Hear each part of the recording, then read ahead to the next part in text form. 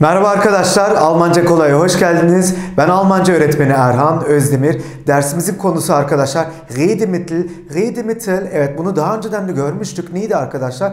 Konuşma kalıpları demekti öyle değil mi Redemittel? Ee, bu e, üst başlığın alt başlığına bakacak olursak burada Wissen und Nichtwissen ausdrücken bunu görüyor olacağız arkadaşlar. Wissen denildiğinde ne demek bu arkadaşlar?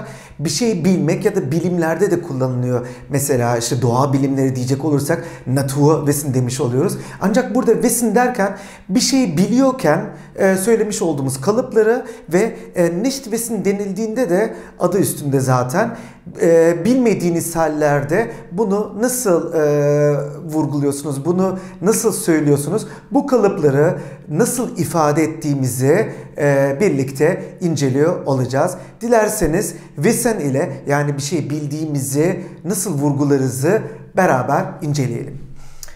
E, kalıplara bakacak olursak şimdi arkadaşlar kennen Das kenne ich schon. Evet arkadaşlar bu cümleye baktığımızda kennen bilmek, tanımak demek arkadaşlar. Bunu ne yapmış oluyoruz? İşe göre e, çekimlemiş oluyoruz. Buradaki das'tan kasıtı arkadaşlar bir konuyu biliyorum diyecek olursak das kenne ich deriz öyle değil mi? Schon da neydi arkadaşlar? Çoktandır e, anlamına gelmiş oluyor. E, ben daha önceden de bu schon çıktığımda e, ne demiştim? Hep schon kalıbı e, bir pekiştireçti. O cümleyi daha bir anlamlandırıyordu. Daha bir yukarı çekmiş oluyordu. Dolayısıyla das kenne ich schon dediğimizde arkadaşlar bunu ben çoktandır biliyorum e, anlamına gelmiş oluyor. Das kenne ich schon. Tabi ben şöyle de diyebilirdim. Ich kenne das schon da diyebilirdim pekala. Demek ki das kenne ich schon ya da ich kenne das schon diyebilirim. Sonraki cümleye baktığımızda gene aynı yapı ancak e, das kenne ich schon diyebileceğim gibi wissen'e de kullanabilirim. Wissen az önce de söylemiş olduğum gibi neydi arkadaşlar? Bilmek demekti. Öyle değil mi? Wissen e, nasıl çekimleniyordu hatırlayacak olursanız ich weiß, du weißt, er sie es weiß. Wir wissen, ihr wisst, sie, sie wissen. Evet bu bilmek kelimesini eminim siz de biliyorsunuz öyle değil mi? Çünkü e, önceki e, ders videolarında bunları ayrıntılı şekilde görmüştük. Ancak şimdi burada kalıp şeklinde gördüğümüzde bakıyoruz arkadaşlar. Bunu biliyorum Bakın üsttekiyle gene aynı anlamda. Das weiß ich schon. Bakın burada da gene çoktandır anlamına gelen şun'u görüyoruz. Das weiß ich schon. Ancak ben bu işi buraya getirseydim de olurdu. Ee, o zaman ne derdim? Ich weiß das schon. Değil mi? Ich weiß das schon ya da e, das weiß ich schon demek ki aynı anlamlara gelmiş oluyor arkadaşlar. Fonksiyon olarak herhangi bir e, değişik e, bir durum yok. E, ikinci e, pozisyonda her zaman olduğu gibi ne yapıyordum? Mutlaka ama mutlaka eylemimi koymam gerekiyordu. Öyle değil mi? Sonrakine bakalım arkadaşlar. Das ist mir bekannt. Evet, bekannt sein arkadaşlar. E, bekannt bilindik. Bekannt ünlü anlamlarına da gelebiliyor. Bu e, bu bana ne deriz güzel Türkçemizde? Bu e, bana hiç de yabancı gelmiyor deriz güzel Türkçede öyle değil mi? Dolayısıyla Almanca'da da bu şu şekilde ifade ediliyor arkadaşlar. Bu bana tanıdık geliyor deriz ya aynı zamanda değil mi güzel Türkçede? Dolayısıyla das ist mir bekannt demek ki bekannt tanıdık demekmiş. Bakın burada dikkat edelim arkadaşlar. Bu bana tanıdık geliyor deriz. Tabi güzel Türkçe'de de öyle deriz. E, Mia deriz değil mi? Bana tanıdık geliyor derken das ist mir bekannt. Ben e, şöyle de diyebilirdim. Bu Mia buraya gelseydi de olabilirdi. Yani ben mir ist das bekannt da diyebilirdim pekala. Çünkü eylemim ikinci pozisyonda. Dolayısıyla dilediğim gibi oynayabiliyorum. Dolayısıyla das ist mir bekannt ya da Mir ist das bekannt gene aynı kapıya çıkıyor. Ne demekmiş demek ki? Bu bana tanıdık geliyor. Öyle değil mi? Sonrakine baktığımızda burada gene aynı anlam var arkadaşlar. Klar, klar açık, bariz anlamlarında arkadaşlar. Demek ki açık, bariz. Diğer anlamı da hani görülebilir gibi düşünülebilir. Mesela bir e, bardağın işte şeffaf oluşu. Aynen öyle. Şeffaf da diyebiliriz kla için. Bu bariz, bu şeffaf, bu açık anlamlarında gene aynı e, anlama e, gelmiş oluyor. O zaman da ne derim arkadaşlar? Das ist mir klar. Bu bana e, ne deriz gene aynı anlam çıkıyor. Bu bana e, tanıdık geliyor deriz öyle değil mi? Das ist mir klar ya da mir ist das klar gene aynı anlama gelmiş oluyor. Bakın bunların hepsi bir şeyi bildiğimize dair yapılar arkadaşlar. Henüz olumsuzluklara bilmediğimiz yapılara gelmedik. Bunların hepsi Wissen kapsamında. Yani bir şeyi biliyorum ve diyorum ki aa evet bunu ben de biliyorum e, gibi bir onaylama e, şeyi bu kalıbı kalıpları. E, dolayısıyla burada e, bildiğimiz bir şeyi onaylamış oluyoruz. Sonraki onaylamaya baktığımızda arkadaşlar ist doch klar. Evet, klar az önce söylemiş olduğum gibi. Bakın burada doch var. Bu da e, tıpkı schon gibi bir pekiştireç noktasında düşünülmesi gereken bir yapı. Bu şey demek yani ist klar da diyebilirdik ama ist doch klar bu açık bariz ortada ya. Hani güzel Türkçe'de ya deriz ya. Ben bunu biliyorum yahu deriz ya. Oradaki o yahu e, daki e, fonksiyon burada var arkadaşlar. Ist doch klar bu bariz bir şekilde ortada canım. Yani burada e, su geçirmez bir değil mi?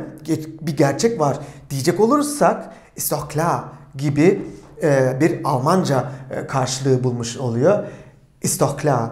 Ancak burada fark ettiyseniz arkadaşlar daha önceden biz ne demiştik? E, ta A1 seviyesinde bunu söylemiştik.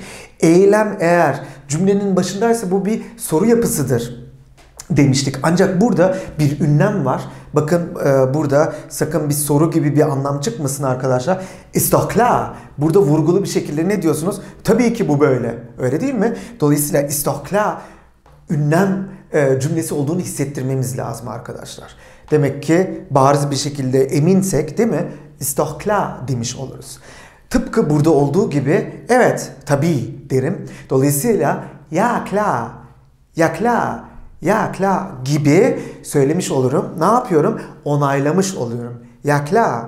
Ya da evet tabii ki biliyorum diyecek olursam ya klar, weiß ich. Bakın ya klar, weiß ich. Tabii ki biliyorum demiş oluyorum. Bakın e, virgülden hemen sonra eylem geliyor. Şöyle de edebilirdim ama ya klar nokta ich weiß de diyebilirdim. Şu şekilde de söyleyebiliyorum. Ya klar weiß ich. Evet tabii biliyorum. Demek ki arkadaşlar ist doch klar, ya klar, ya klar weiß ich. Bunların hepsi tıpkı yukarıda olmuş e, e, yukarıdaki e, kalıplar gibi onaylamaya giden e, kalıplar. Bunlar da keza öyle. Buraya baktığımızda gene karşımızdaki kişiyi onaylamış oluyoruz. Bakın burada ne diyor? Bakın örnek olarak ben şimdi diyeceğim ki bu durum Türkiye'de de böyle. Ne diyeceğim? Bakın das ist bei uns in der Türkei auch so. Bakın burada bei uns bizde demek arkadaşlar. Demek ki bizde de böyle. Bizde derken by uns diyoruz. Dolayısıyla bizde nerede? Bizde Türkiye'de de durum bu. Diyecek olursam das ist bei uns in der Türkei auch so. Auch so derken e, neydi auch arkadaşlar? De da anlamında öyle değil mi? E, ben de sen de derken değil mi? E, ne yapmış oluyorduk? Burada da gene bir pekiştireç noktasında bizde de böyle durum Bizde de Türkiye'de de durum bu.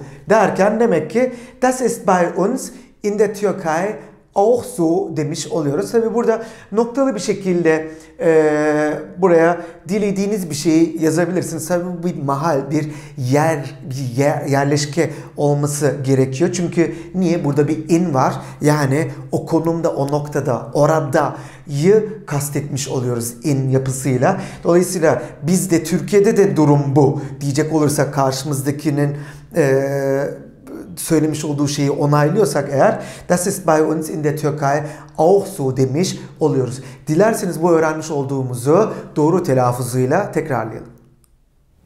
Das kenne ich schon. Das kenne ich schon. Das weiß ich schon. Das weiß ich schon.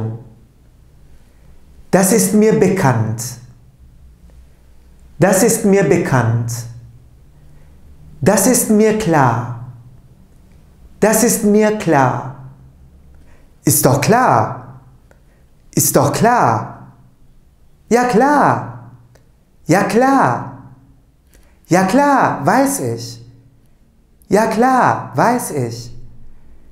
Das ist bei uns in der Türkei auch so. Das ist bei uns in der Türkei auch so. Evet arkadaşlar az önce wissen ausdrücken yani bildiğimiz bir şeyi onaylamayı e, gördük. Şimdi ise nicht wissen ausdrücken yani nicht wissen neydi? Bilmemeyi değil mi? Bilmediğinizi ne yapmış oluyorsunuz? İfade etmiş oluyorsunuz. Dilerseniz e, ilk e, cümleyi bir bakalım. Şimdi demiş ki ich bin mir nicht sicher ob das in Deutschland auch so ist. Şimdi öncelikle virgüle kadar bir bakalım arkadaşlar. Ich bin mir nicht sicher. Sicher neydi arkadaşlar? Emin olmak demekti değil mi arkadaşlar? Ben emin değilim derken ich bin mir nicht sicher. Ancak eminim derken ne deriz arkadaşlar? Ich bin mir sicher değil mi? Bunu bir kalıp olarak görmeniz lazım arkadaşlar. Burada datiflik var. Dolayısıyla zaman zaman bu e, güzel Türkçemizdeki e, mantıkla ters düşebiliyor. Dolayısıyla mia ne demekti aslında birebir? Bana demekti. Ancak güzel Türkçemizde öyle demeyiz değil mi? Ne deriz? E, kendimden emin olmak ya da buna eminim dediğimizde evet zaman zaman uyuşuyor, zaman zaman uyuşmuyor ama dediğim gibi e, en doğrusu o dil dinamiğinde düşünüyor olmak. Yani hemen bunu Türkçe ile e, şey yaptığımızda, e, dile getirdiğimizde ya da Türkçe ile kıyasladığımızda zaman zaman böyle boşluğa düşebiliriz. Dolayısıyla bu dil dinamiğinde e, düşünmek en doğrusu olur. Dolayısıyla ich bin mir nicht sicher, emin değilim. Bakın burada ob cümlesini görüyoruz. Ob das in Deutschland auch so ist. Ob neydi arkadaşlar? Bunu ayrıntılı bir şekilde görmüştük ob cümlelerinde. Eğer bir soru işareti varsa ve e, ikilemdeysek hani eski Türkçe'de denir ya muallakta kalmak ya da ikilemde kalmak. O noktada ob'u kullanıyorum. Almanya'da da durum böyle mi? Pek emin değilim, pek bilmiyorum gibi bir anlam çıkmış oluyor. Bakın, ob das in Deutschland auch so ist. Yani karşımızdaki kişi diyor ki işte diyelim ki İtalya'da durum bu böyle. E, ben de diyorum ki e, Almanya'daki durum böyle mi? Pek emin değilim. Dolayısıyla ne diyeceğim? Ich bin mir nicht sicher, ob das in Deutschland auch so ist. Evet burada ne var? Gene DDA anlamına gelen Almanya'da da bu böyle bir durum var mı? Emin değilim demiş oluyoruz. Buraya baktığımızda arkadaşlar Das ist mir neu. Neu neydi arkadaşlar? Yeni. Evet bu ne demek arkadaşlar? Bu bilgi bana çok yeni, çok ilk defa duyuyorum anlamına gelmiş oluyor. Dolayısıyla das ist mir neu denildiğinde ben böyle bir şeyi ilk defa duyuyorum. Yeni böyle bir şey duyuyorum. Değil mi? İlk defa duyuyorum deriz güzel Türkçe'de. Şöyle de diyebilirdik arkadaşlar. Mir ist das neu. Bu bana e, yeni geliyor deriz. Yani çok e, ilk defa duyduğum bir durum bu. Buraya baktığımızda bilmediğimizde Evet arkadaşlar bilmediğimizde de söylemeliyiz değil mi? Hani bilgiçlik taslamak doğru olmaz. Bir şey bilmediğimizde bunu söylemeliyiz bilmediğimizi ve doğrusunu öğrenmemiz gerekir öyle değil mi? Dolayısıyla bilmiyorsak bir şeyi keine Ahnung deriz. Keine Ahnung. Ahnung bilmek anlamında arkadaşlar. Dolayısıyla hiçbir bilgim yok derken ne diyeceğiz? Ich habe keine Ahnung ya da kısaca keine Ahnung diyeceğiz. Aynı şekilde bakın ich weiß nicht. Aynı e, anlam arkadaşlar. Neydi ich weiß nicht? Bilmiyorum ya da kısaca keine Ahnung diyebiliriz. Bakın ich weiß nicht'ten sonra gene oplu bir cümle var. Çünkü niye? İkilemdeyiz. Yani bilmiyorum bu böyle mi değil mi? Değil mi? Şimdi stimmt neydi? Das stimmt neydi? Bu doğru demekti değil mi? Das stimmt. Şimdi diyorum ki ben bilmiyorum bu doğru mu? Yanlış mı? Bilmiyorum. Dolayısıyla e, oplu bir cümle kurmam gerekiyor. Çünkü burada ne var? Bir soru işareti, bir ikilem var. Bilmiyorum. Dolayısıyla ich weiß nicht, ob das stimmt. Bilmiyorum acaba doğru mu? Değil mi? Ich weiß nicht, ob das stimmt demiş oluyorum. Weiß bunu şu şekilde de e, yorumlayabilirim. Bilmezdim. Ich wusste nicht, bilmezdim.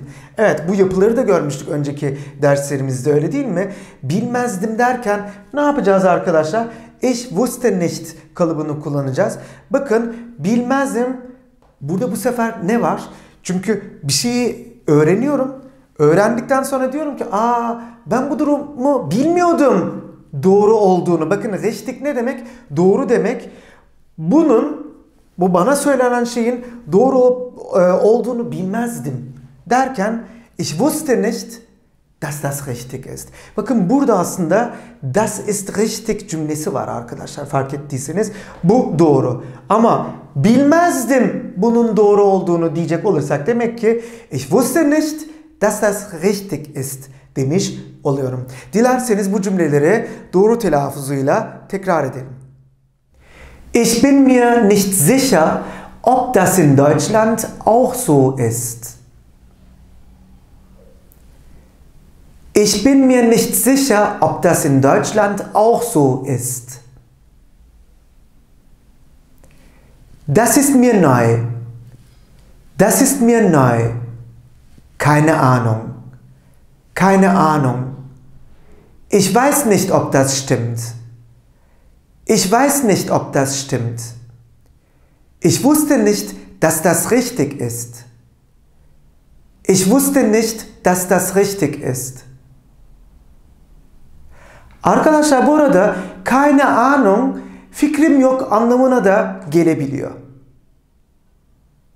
Evet şimdi arkadaşlar nicht wissen ausdrücken yani bilmediğimiz bir şeyi ne yapmayı arkadaşlar ee, bu kalıpları bir şekilde ifade etmeyi görmeye devam ediyoruz burada da. İlk cümleye baktığımızda diyor ki bize Ich frage mich ob das stimmt. Evet kendime soruyorum derken Ich frage mich aslında buraya baktığımızda işte burada e, Türkçeden birazcık daha farklı. Mich neydi? Beni değil mi? Anlamında. Dolayısıyla güzel Türkçede ne deriz? E, kendime soruyorum deriz öyle değil mi? Almanca'da bunun karşılığı ich frage mich. Demek ki kendime soruyorum derken ich frage mich demiş oluyoruz ki bunu daha önceden de görmüştük öyle değil mi arkadaşlar? Bu refleksiflikle ilgili e, dersimizde ayrıntılı görmüştük. Gene bir ob cümlesi var. Demek ki burada bir soru durumu var değil mi? Das stimmt neydi az önce de söyledik. Bu doğru. Evet bunun doğru olup olmadığını kendime soruyorum.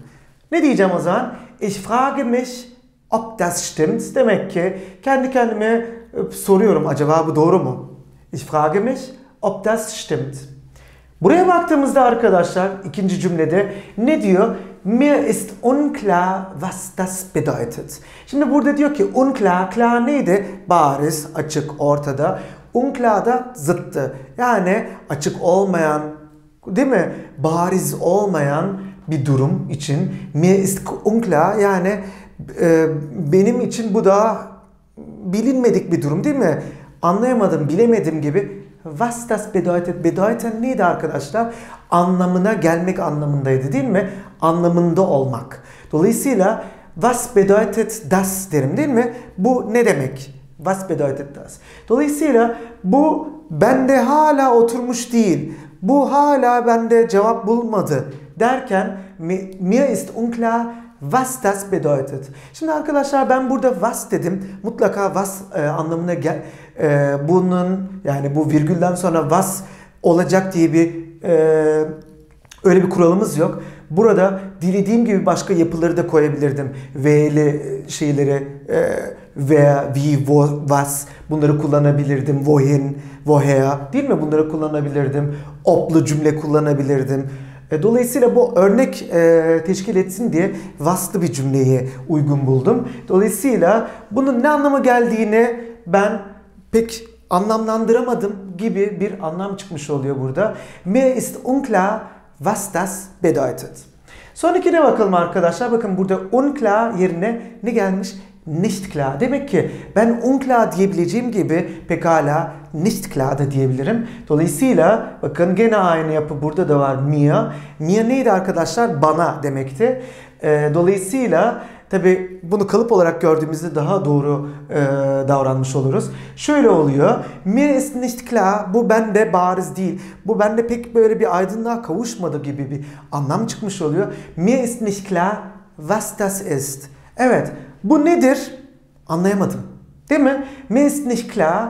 Pek anlayamadım was das ist. Bunun ne olduğunu anlayamadım gibi bir anlam çıkmış oluyor.